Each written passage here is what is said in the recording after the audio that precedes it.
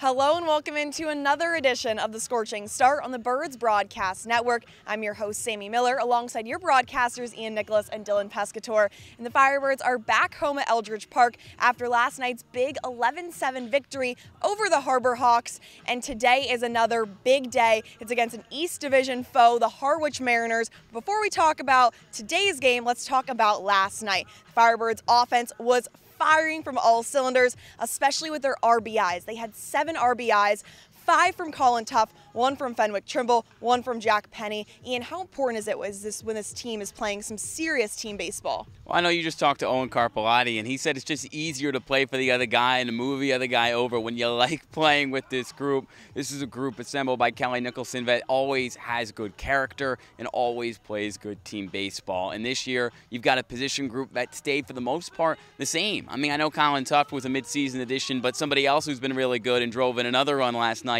Eddie King Jr. He's been here since day one, and he's had so many RBIs in the month of July after not having a single one in June. It's a learning process for these guys. A lot of them are peaking at the right time. Yes, we know Joe Oyama, Matt Hallback, and Jack Penny are always going to get theirs, but one through nine, this lineup is really starting to find its groove, hitting over 300 in the last week. Another player who is peaking at just the right time is the University of San Diego's pitcher Ivan Romero. Last night he went six innings and did not allow a single run along with five Ks. What made him so effective last night? Yes, Sammy, I think Ivan's fastball is what commands everything in his repertoire. When his fastball is landing for strikes and landing at 89, 90, 91 in the strike zone, it lets his other pitches really work better. He was getting a lot of swing and miss off of the slider in the dirt, along with the curveball and the changeup. The four pitch mix from Romero was really good last night, and his probably his best start, his best start confirmed for the Firebirds going into the playoffs. That'll give him a lot of confidence.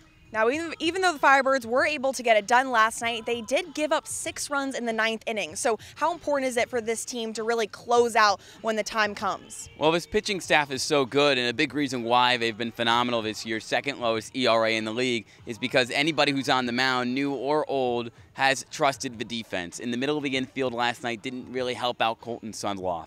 And that's, I think, a blip on the radar, right? I don't think Jack Penny, who's sliding over from third base to shortstop as of late, has just forgotten how to play defense. He is very good. He was an all star starter at third base, not because just of his bat, but also because of his defense. And Joe Oyama has been very solid at second base all year long. So I think that duo is going to be just fine. I don't think the pitchers on his team have lost any faith in those two. It's just an inning that you want to wipe away if you're the middle of the infield, really the entirety of the infield. They're going to have the back of this pitching staff the rest of the way. And today is a happy day, but it's also a sad day because it's Derek Clark having the start on the mound for the Firebirds, but it's also his last start of the season. Derek Clark has the third best ERA in the entire league, but other than that, he is one of the best leaders on this squad, and it, he really embodies what it means to be a Firebird. What has made him so effective this season? Well, if we're talking baseball, number one, his fastball has a lot of ride on it, along with the curveball and the slider for Clark. He's been absolutely incredible on the mound. But if we're talking in the dugout, we're talking in the locker room, and even on off days, he's made friends with everybody. He told me that he goes up to every guy, new or old, if they come in their first day to make friends with them, to make sure they're comfortable in this locker room and on this team. That's so important. It goes along with team chemistry. It's going to be sad that Derek Clark won't be here for the playoff run, but through the 44 game regular season, he has been a charm to cover, to be with, and to be in that locker room really has been incredible watching him grow and develop this summer. And the last time the Mariners and the Firebirds faced off against each other, Firebirds won 12 to 0. It was so close to being a no-hitter.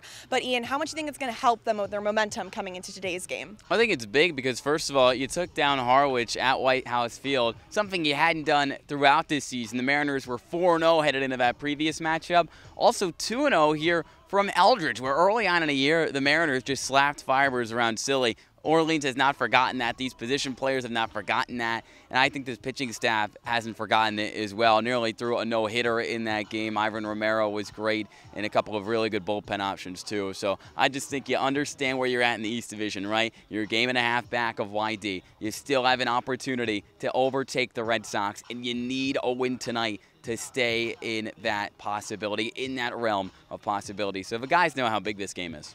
And the Mariners, they've lost some pretty good hitters and also pitchers as well. What are their current strengths and weaknesses? Well, talking about their losses, Sammy, thank goodness they've lost a few of their hitters because they've been really good against the Firebirds. Kennedy Jones, Lorenzo Carrier, Keelan Culpepper, Seaver King, all four of those were leading the offense against the Birds in those first four games that they dropped. But according to right now, they have a player in Elijah Lambros out of Maryland who's been really good for this team a, a, replacement. He wasn't here on day one, but he leads this offense for Harwich, along with Brian Arendt, their catcher. He's been a killer of the Firebirds too, with four hits in his in his 15 plate appearances against Orleans. Watch out for those two tonight against Derek Clark on the mound. And guys, you already know what time it is. I need keys to the game. Ian, you're up first. I need a last yesterday's player of the game, Eddie King Jr., who's been sensational to deliver once again because in the heart of this order, he keeps this thing turning. He needs to have multiple hits, and I think he will because it's just been that kind of week for him. You might need a crown for him. He's really embodying what it means to be a king. What's your key, Dylan? Mine is the last dance. Derek Clark's last dance is today. Six, maybe even seven innings like he did against Brewster. A good start for Derek Clark to send him off into the sunset and then over to Morgantown in West Virginia. There we go. I know there's going to be a lot of new West Virginia fans after this summer for Derek, but stay tuned for a lot more content on the Scorching Start. All right, let's go to war, boys. You guys keep it out. I'm now joined alongside Tulane's Colin Tuff. Colin, you had a fantastic night last night, five RBIs. How are you feeling at the plate? feel good. I feel good. That's pretty much all to it. And how does it feel just getting those runners in and seeing them celebrate with the guys and knowing that you were able to pass the baton along that Kelly Nicholson always says? Yeah, well, that's everything in baseball. Like, you want to see your teammates have fun, you want to see them thrive, you want to see them score and enjoy the time with their teammates. Um, honestly, it's like that's what I play for. Honestly, like seeing all my teammates be happy. So it was really nice to see that. In the ninth inning, things got a little shaky, but you had that incredible throw to get the final out. What'd you see on that play? Well, it was just it was a hit. It was a ball hit right towards me. Uh, I saw an opportunity to make a play for the team, uh, get us off the field. Hopefully, uh, I was just thinking getting it through the shortstop, make a head high throw. It sailed on me a little bit, but ended up working out well. But that's why you have that target of head high, straight through the cut. Um, and Hunter or Henry was able to get it and tag him out, which was an incredible tag, underrated tag. That was a really good play by him. So it was it was cool. It was cool, but I'm really happy that we got the win because of like the entire complete game. So. And do you think it helps you because you are a catcher as well, knowing what throws to make to the catcher so that Henry could make a play like that? Yeah, I think potentially that could help a lot. Um, personally, like I don't know, it's just like I just see the ball, I, I throw the ball. Like I don't think I don't think it's that deep, but um, yeah. And how big of a win was it against a Harbor Hawks team who's had a lot of success this season as well as you guys? It was it was a really nice win. I mean, like all the guys enjoyed it. I know we played really well as a team. We scored 11 runs. Everyone was Eddie King had an amazing day. Eddie Micheletti hit a double. Joe was unreal again, like always. uh, like our team did really well. It was a great win for the entire team. We feel great.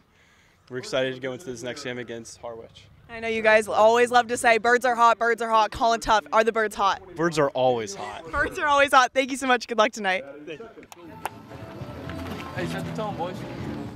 I'm now joined alongside Firebirds manager Kelly Nicholson. A huge win last night. Ivan Romero had a fantastic night, and he said after the game that he had a big boost of confidence. How big is that for him for the regular season and as well as the playoffs as well? Yeah, it's big. We thought Ivan threw the ball. Ivan threw the ball really well. He's going to be our game two starter on Saturday. We'll be on the road, uh, I think, maybe. Um, yeah, we'll be on the road for sure if we finish second or first. Uh, you know, he's a veteran. He's pitched in the Cape League playoffs before. He pitched against us last summer when he was with YD, and he threw the ball really well. So, uh, he, th- yeah, that was a good lineup last night in Hyannis, and he he kind of dominated those guys. It was it was good to see. And your batting order was fantastic. Seven RBIs on the night. How important is it to really pass that baton and play some team baseball? Yeah, it's contagious. Like I've told you before, Sammy. When those guys start swinging the bat, the next guy starts swinging the bat, then the next guy starts swinging the bat. Next thing you know, you got a crooked number in the inning. So, yeah, they're they're playing well right now. They they played well for eight innings. That last inning got a little little sloppy, uh, but I'm really encouraged with where our ball club is right now. It's a bittersweet night because Derek Clark, it's going to be his last start of the summer. What does he mean to this team? Well, he's our ace, right? He's, you know, you know what you you kind of know what you're going to get when he goes out of the mound. He's going to compete. He should throw strikes. Um, you know, hopefully they're he's going to limit them and hits and runs and give your team a good chance to win. So he's going to go 80, 85 pitches tonight, and we're going to go get him. And then you know we have hopefully we have Matson ready to go tonight, and um, you know we anytime Derek Clark's on the mound, we like our chances. And the last time you faced the Mariners was a big 12-0 victory. How big is that for the momentum coming into today? Well, momentum always is, you know, your starting pitcher for that day.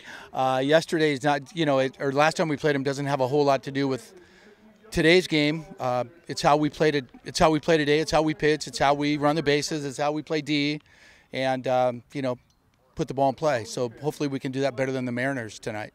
There we go. Thank you so much and good luck tonight, Coach. All right. Thank you, Sammy. That'll do it for this edition of the Scorching Start on the Birds Broadcast Network. Make sure you tune in at 6:30 when the Orleans Firebirds take on the Harwich Mariners.